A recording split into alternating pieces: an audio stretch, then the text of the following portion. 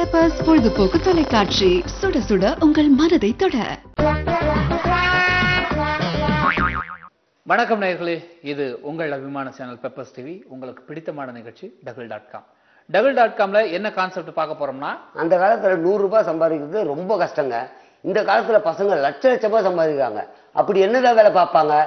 யோசனை பண்றீங்களா? நிகழ்ச்சி பாருங்க உங்களுக்கே தெரியும். யார் மனசையும் புண்படுத்தாம ஜாலிக்காக இந்த ஷோ அப்படி எடுத்துக்கிட்டு பாருங்க வயிறு குலுங்க சிரிப்பீங்க. கந்தா கடம்பா கதிர்வேலா கார்த்திகேயா ஈஸ்வரா நாராயணா ஐயப்பா ஓம் நமோ நாராயணா என்ன போட்டிருக்கானுங்க? பல கோடி ரூபாய் திருட்டு. ம் இப்பெல்லாம் ஆயிரத்துல எங்க திருடுறான்? லட்சத்துல தான் திருடுறான். டைம் ஆயிட்டு இருக்கு இன்னும் காஃபி கூட கொண்டு வரல. அடியே பங்கஜம் காஃபி கொண்டு வாடி. அப்படிங்க மோர் குடிங்க. அடிக்கடிக்கு காஃபியே குடிச்சிட்டு இருந்தா இருக்கிற முடியும் நினைச்சு. எங்க கதவு பின்னாடி நின்னுந்தியா கூப்பிட்ட உடனே வர மோர் தானே அப்ப முன்னாடியே வந்து கொடுக்க வேண்டியதானே குடிங்க உடம்புக்கு ரொம்ப நல்லது. சரி நான் அவன் என்ன பையனுக்கு பண்றான்? பையனுக்கு சாப்பாடு கட்டுறோன்னு அந்த வேலைலாம் இருக்கு எனக்கு. சரி. சொல்லி வச்சு ஏதோ வாடகை கூட்டு வந்த பொண்டாட்டி மாதிரி நின்று டைலாக் பேசிட்டு போறாங்க அங்கிள் அங்கிள். சொல்லுப்பா. முல்லை இல்லைங்களா? அந்த தொல்லை உள்ள ரெடி ஆயிட்டு இருக்கு நீ வேலைக்கு போலியா நான் ரெடி ஆயிட்டேன் அங்கிள் முல்லை கிளம்பி வரும்போதே என்னை கேப்ல பிக்கப் பண்ணி சொல்லுங்க. எந்த கேப்ல உன்னை பிக்கப் பண்ணிக்கணும்? அங்கிள் கேப்னா கார் அங்கிள் காருக்கு பேரு கேபா ஆமா அங்கிள் சரி வந்தா சொல்றேன். கேபு காபுன்னு ஏதோ காருன்னு சொல்லிட்டு அழகா சொல்றதை விட்டுட்டு. பங்கஜம் அடியே பங்கஜம் ஐயே வர வர உங்ககிட்ட ஒரு தொலையா போச்சு. என்ன கால சுடு தண்ணி ஊத்துன மாதிரி நொய் நொயின்றீங்க முதல்ல நீ இப்படி உட்காரு என்ன விஷயம்? சொல்லுங்க வேலை இருக்கு. சொல்றேன். இந்த கிளாஸை புடி. பையன் இந்த ஆறு மாசமா லேண்டு வாங்குறேன் கார் வாங்குறேன்னு ஏகப்பட்ட பணத்தை கொண்டு வரான். எங்கேருந்து கொண்டு வரான் என்ன வேலை பார்க்கறான் எதுவுமே தெரியல. உனக்காவது தெரியுமான்னு கேட்கறதுக்காக உன்னை உட்கார வச்சேன். என்ன வேலை தான் பார்க்கறான் நம்ம பையன்? அவன் ஆம்பளை புள்ள. அங்க அங்கன்னு போய் கஷ்டப்பட்டு சம்பாரிச்ச காசெல்லாம் எடுத்துட்டு வந்து பத்திரமா குடுக்குறான். மத்த புள்ளைங்க மாதிரி அங்க இங்கேயுமா செலவு பண்றான்? அது சரி நீ சொல்றது எனக்கு புரியுது. அவன் சம்பாதிச்சு நம்ம கிட்ட தான் கொடுக்குறான். என்ன வேலை பார்க்கறான் அவன் நாளும் தெரிஞ்சு அவனுக்கே ஒண்ணும் தெரியல. எனக்கு படிப்பறிவே கிடையாது. எனக்கு எப்படி தெரியும்? படிப்பறிவே கிடையாதுன்னு தெரிஞ்சுதான் கட்டிக்கிட்டு நான் அவஸ்தைப்படுறேன் உன்னோட. கூப்பிட்டா வந்து வயனமா வந்து உக்காந்துட்டா போய் சமைக்கிற வேலையாவது பாரு. அவன் என்ன வேலை பார்க்கறான்னு தெரியல போ. எனக்கு எவ்வளவு வேலை இருக்கு? வேலை இருந்து தான் கூப்பிட்ட உன்னை பக்கத்துல வந்து உக்காந்துக்கிட்டியா வேறு கட்ட அப்பன் கூறு கட்ட பொண்ணு என் தள்ள கட்டானுங்க இவன் என்னமோ நைட்டுன்றான் பகலுன்றான் போறான் வரான் Yeah, yeah, yeah, yeah, yes, yes, yes, sir. I will, I will do, do, yes, yes, I will do that, yes. Yeah, of course, of course. Sir, please send him to one car, sir, yes. Yeah, cab, cab. Yeah, yeah. Yeah, I'm ready, always ready. Yeah. Okay, okay, okay. No, no, no, no. I, uh, I will come back. Yeah, I will do. Yeah, within two hours. Yes. Mambalam? Yeah. Okay, okay, okay, okay, no problem. With the AC cab, no? Uh, done. Bye. டேய் உக்காரா ஐயோ அப்பா எனக்கு time இல்லப்பா gap அனுப்பிச்சிருவா என்கிட்ட பேசுறது மிஞ்சி அப்படி ஒன்றும் டைம் இல்லாம போ உக்கார் உங்ககிட்ட நானே ஓ ஸ்டூபிட் வேண்டா ப்ளீஸ் வெயிட் சார் ப்ளீஸ் காரை கொஞ்சம் ஒரு டுவெண்ட்டி மினிட்ஸ் லேட் அனுப்புங்க ப்ளீஸ் யா கேப் யா அப்போ என்னப்பா வேணும் உங்களுக்கு? அது யாரோ உன் ஃப்ரெண்டு வந்தான். கேப்ல வந்து கூட்டின்னு போனான். கேப் சரி விடுங்கப்பா உங்களுக்கு சொல்லி புரிய வைக்க முடியாது. யூ கேன் அண்டர்ஸ்டாண்ட் எவனை கேட்டாலும் இது மாதிரி ஒரு பேக்கை மாட்டிக்கிறானுங்க டீக்கா ட்ரெஸ் பண்ணிக்கிறானுங்க போகும்போது கேட்டா நான் சாஃப்ட்வேர்ல வேலை செய்றேன். நான் கம்ப்யூட்டர் இன்ஜினியர்ன்றான் அப்படி என்னதான் வேலை பார்க்குறீங்க? என்னடா பெருசா சலிச்சுக்கிற? படிக்க வச்சது நான்டா. அப்படி இல்லப்பா படிக்க வச்சது நீங்களா இருந்தாலும் உண்மையிலேயே ஒரு நியாயமான கேள்வி கேட்டீங்க. அதாவது உங்களுக்கு தெளிவா சொல்லணும் உங்க மரமண்டைக்கு ஏறுற மாதிரி சொல்லணும்னா இல்லப்பா அதாவது உங்களுக்கு புரியுற மாதிரி சொல்லணும்னா சொல்லு. இந்த மாதிரி கம்ப்யூட்டர் கம்பெனில வேலை செய்றவங்க ம்.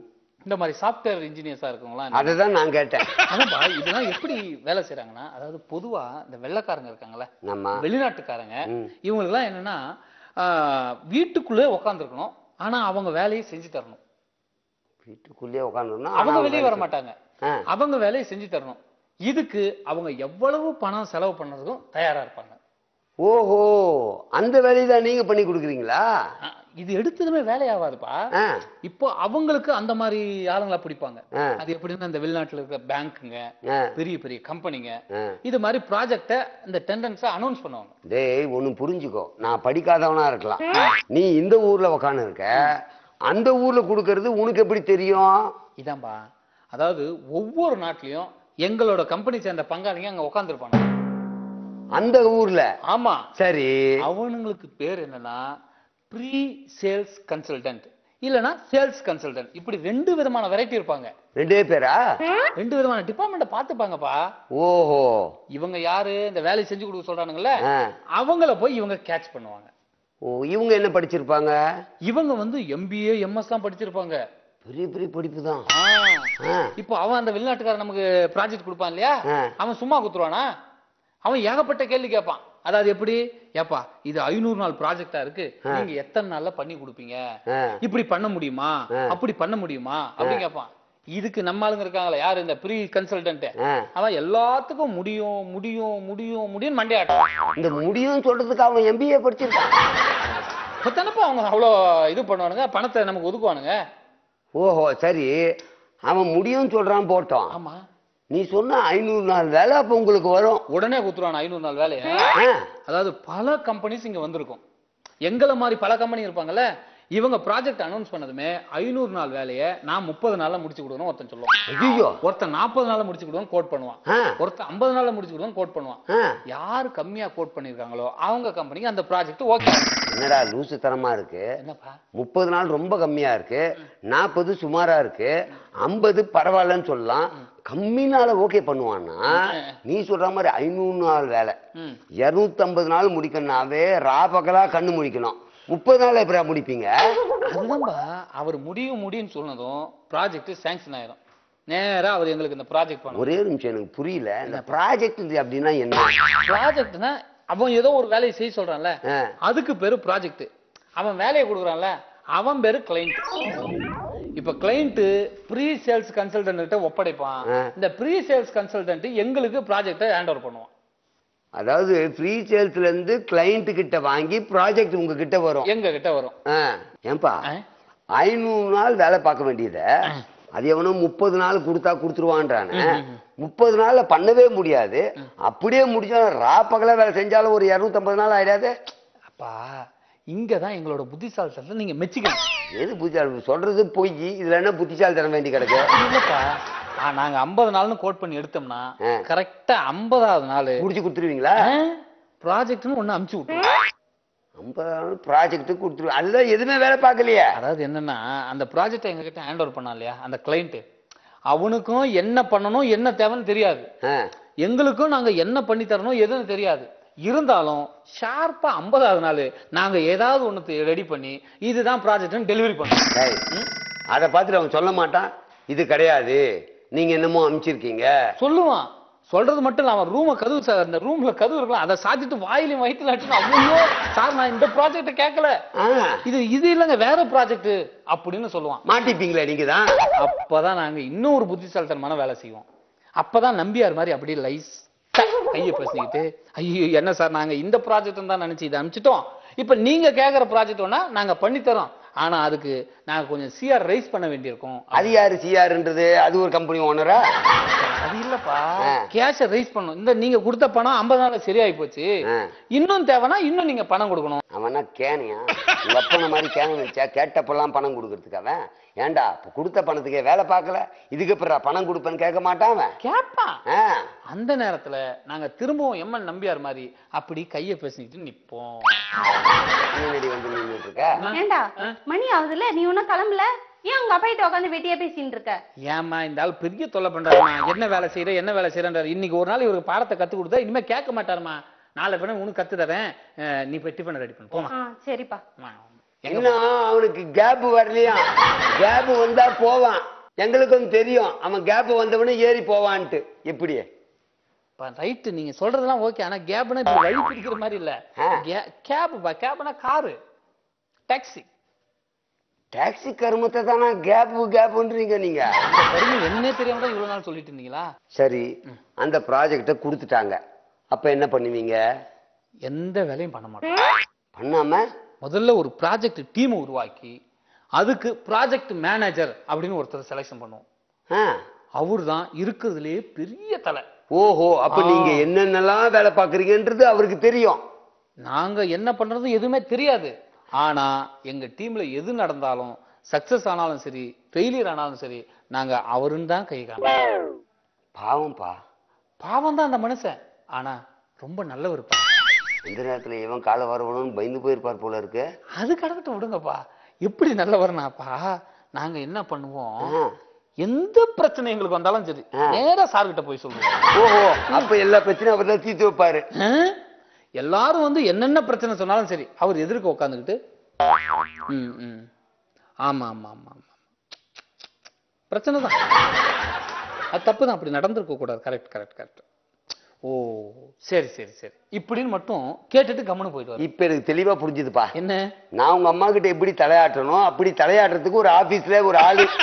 அவர்தான் அது. அவர் தான்ப்பா அவர் தான் ப்ராஜெக்ட் லீடர் ப்ராஜெக்ட். மேனேஜர் அதாவது தலையாட்டுற தலையாட்டி மாதிரி அவரு. அதை சொன்னீங்களா உங்களை மாதிரி நல்ல வேலை நீங்க அம்மா கிட்ட செய்யறது ஞாபகம் வந்தது. மா மா க- டீ கொண்டு வாமா டேய் பாதி கதையில விட்டு போறியடா. ஜூஸ் குடிப்பா? ஜூஸா? உடம்புக்கு ரொம்ப நல்லது. ஏமா அப்பா கொண்டு வரல? அந்த லூசி ஏற்கனவே மோர் குடிச்சு ஏண்டா? ம். நானும் கேட்டேன்டா. தண்ணியா கொஞ்சம் மோர் கொடுத்துட்டு அமிச்சாடா. இது கொஞ்சம் லாஸ்டா இருக்கும் நான் சொல்லிட்டீங்க ஏண்டா நான் பிச்சையாடா கேக்குறேன். இந்த குடும்பத்துக்கு. போ ஏன்பா உங்க அப்பா கிட்ட வெட்டியா பேசிட்டு இருக்க? ஒன்னும் கிளம்பல? உயிரை எடுக்கிறாருமா அந்த மனுஷன். அவர் சொன்னாலும் விளங்க மாட்டேங்குது எப்படித்தான் புரிய வைக்கிறதுனே தெரியல. ஏண்டி ப்ராஜெக்ட் என்னன்னு தெரியுமா? சாஃப்ட்வேர்னா என்னன்னு தெரியுமா உனக்கு? டீம் லீடர்னா என்னன்னு தெரியுமா உனக்கு? தெரியல. ஏன்பா கொஞ்ச நேரம் நான் பாடம் எடுத்தேன். அதுலயே கத்துக்கிட்டீங்க சரி நான் கிளம்பட்டுமா? இருப்பா. பாதி கதையில விட்டு போயிட்டா இந்த தலையாற்ற ஒருத்தர் உக்காந்துட்டு இருக்காரு ஆமா ஆமா ஆமா அவர் வந்து எது கேட்டாலும் ஆமா முடியாது. கரெக்ட் தான். தப்பாவா சொல்றீங்க. இருக்கும் இருக்கும். என்ன மாதிரி ஒருத்தர்? அதுக்கப்புறமாவது ப்ராஜெக்ட் முடிச்சு கொடுத்துருவீங்க. அந்த வேலையை மட்டும் நாங்க போறதே இல்லை அந்த பக்கம். இதுக்கப்புறம் என்ன பண்ணுவோம்? அவர் ஒரு டீம் மேனேஜர் ஆகி போச்சுங்களா? ப்ராஜெக்ட் மேனேஜர் அதுக்கப்புறம் டீம் லீடர்னு ஒருத்தர் இருக்கும். அவர் அப்புறம் டெவலப்பர் லீடர்னு இருக்காங்க. அப்புறம் டெஸ்டர் டீம்னு இருக்கு. அப்ப அதுக்கப்புறம் மோடுல் லீடர்னு இருக்காங்க. இப்படி பல வகையான பிரிவுகளா பிரிஞ்சிருக்கும். ஓஹோ. அப்ப இவ்வளவு பேர் சேர்ந்து ஒழுங்கா வேலை பார்த்தா முடிச்சிடலாமே? ஒழுங்கா வேலை பார்த்தா தான் நாங்க தான் வேலையே ஒழுங்கா பாக்குறது இல்லையா. அப்ப எப்பதான் வேலை முடிப்பீங்க? அதாவது இந்த லாஸ்ட் அந்த அடிப்படிங்களா இருந்தாலும் லாஸ்ட் அந்த டெவலப்பரும் டெஸ்டும் இருக்காங்க பாத்தீங்களா. இவங்க ரெண்டு பேர் தான் உன்னை மாதிரி குழப்பம் இருப்பா. என்னப்பா? டெவலப்பர் டெஸ்டர்ன்றது லாஸ்ட் கேட்டகரியா ஆமாப்பா. அதுக்கு முன்னாடி இருந்து டீம் லீடரா team leader technical leader module leader இப்படி நிறைய போஸ்டிங் இருக்கு. சரி இப்ப டெவலப்பர் டெஸ்டர் ஏதோ பண்றாங்கன்ற ஆமா ஆமா. பாவம் அவங்க வேலை செய்யறாங்க அவங்க தான் வேலை செய்வாங்க. அதாவது எப்படின்னா அதுவும் இந்த டெவலப்பர் டெஸ்ட் எப்படி வருவாங்கன்னா இந்த குடும்பங்கள்லாம் ரொம்ப கஷ்டமா இருக்கும். அவங்க வீட்டு பிள்ளைகளை உங்கள மாதிரி நெத்தியில பட்டைய போட்டு ராஜா நம்ம குடும்பத்தை நீதான்பா காப்பாத்தணும். உனக்கு பின்னாடி பிறந்திருக்க தங்கச்சி நீதான்பா கட்டி கொடுக்கணும். அப்படிலாம் ரொம்ப தெய்வ கடாட்சமா அவனை வேலைக்கு அனுப்புவாங்க பாத்தீங்களா.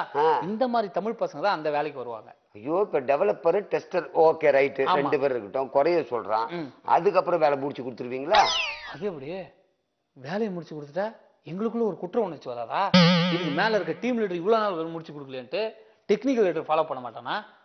என்னப்பா அப்படி சொல்றீங்க?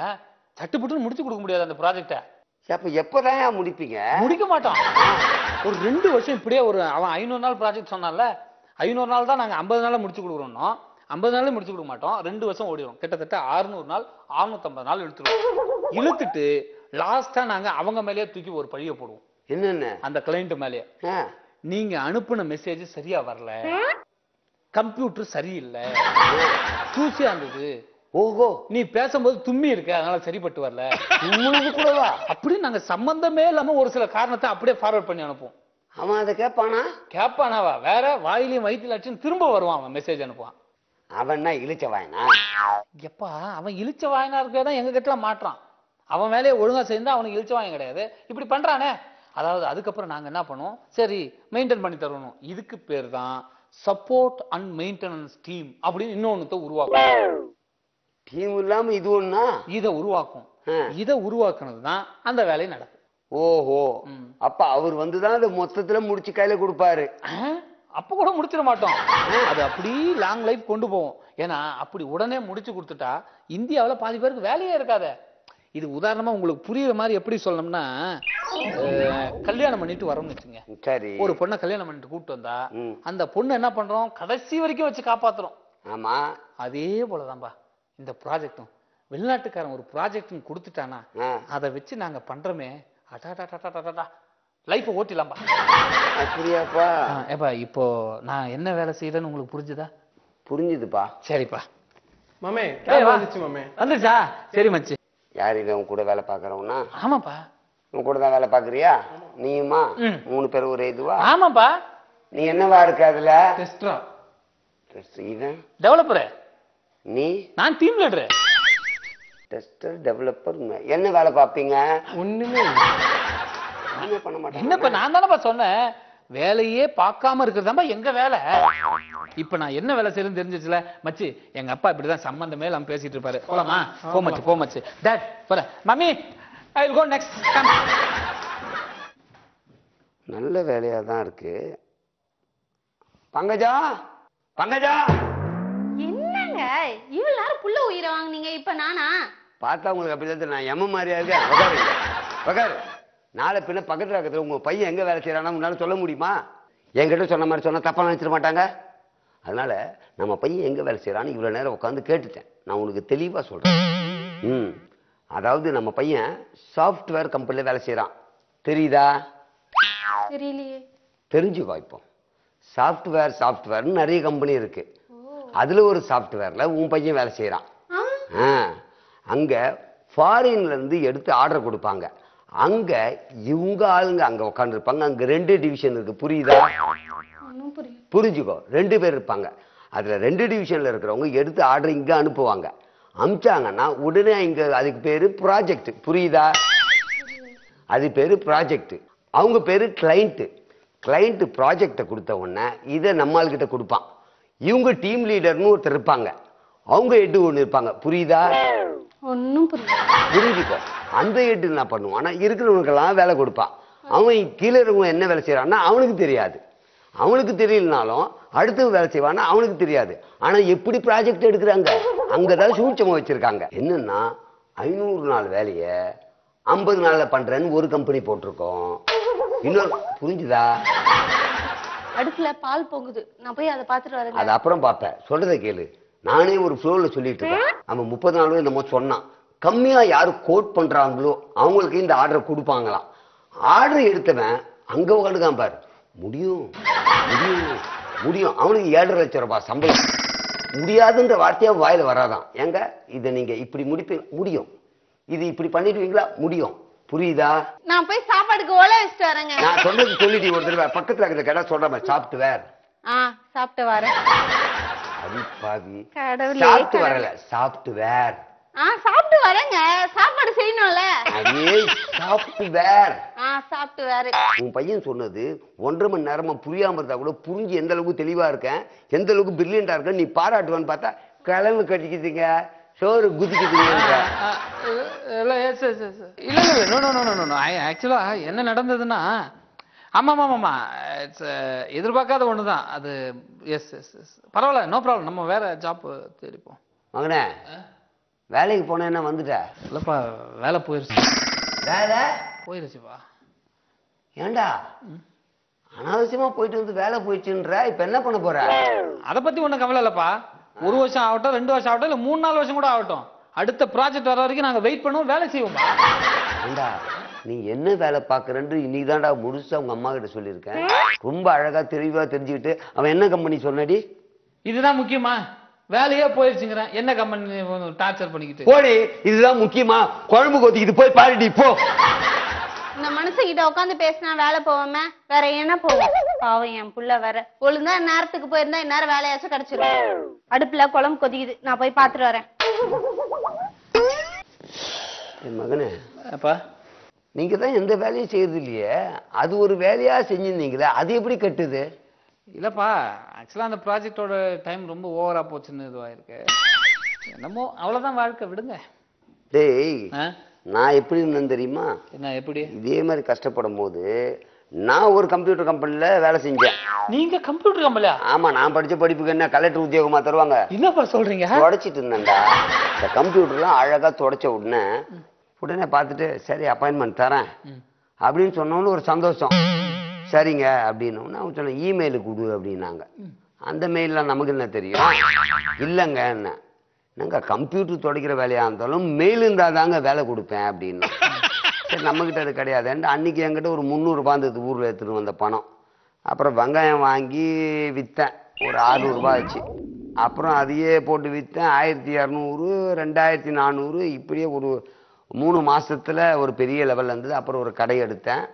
அப்புறம் அதுல நல்ல வருமானம் பார்த்தோன்னே இன்னைக்கு உன்னை படிக்க வச்சது வீடு வாங்கினது மனை வாங்கினது நகை வாங்கினது. வாங்கப்பா நீங்க. நீங்க மட்டும் அன்னைக்கு வந்து இமெயில் ஐடி வச்சிருந்தீங்கன்னா நேரம் எப்படி இருந்திருப்பீங்க தெரியுமா? எப்படி இருந்திருப்பேன். இமெயில் ஐடி இருந்துன்னா வச்சுக்கோ அதே கம்ப்யூட்டர் கம்பெனில தொடச்சி இருந்திருப்பேன் இன்னைக்கு சொந்தமா பிசினஸ் பண்ணி இன்னைக்கு இந்த அளவுக்கு ஆளா இருக்குன்னா அதுதான் காரணம்.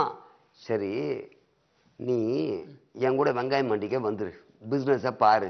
அதுக்கு வேற யாருன்னா பாரு. நாங்கெல்லாம் கடைசி வரைக்கும் சொல்றோம்பா ஏதாவது சாஃப்ட்வேர் கம்பெனில ப்ராஜெக்ட் எடுத்து பண்றோம் நிறைய சம்பாதிக்கிறோம். ஏண்டா அப்ப கடைசி வரைக்கும் எந்த வேலையும் பார்க்காம கை நிறைய பணம் வாங்கி தான் இருப்பீங்களா? இப்படி இருந்தா எப்படி உருப்படுறது? ஓகே நேர்களே இதுவரை நீங்கள் பார்த்து ரசித்த இந்த அற்புதமான நிகழ்ச்சி நமது பெப்பர் சிவி பெருமையுடன் வழங்கிய டகுல் டாட் காம் திரும்பவும் டகுல் டாட் காம் நிகழ்ச்சியில் சந்திக்கும் வரை உங்களிடமிருந்து விடைபெறுவது உங்கள் அன்பு நண்பன் முல்லை தனசேகரன் மற்றும் ஜூனியர் டவுசர் பாண்டி பாய்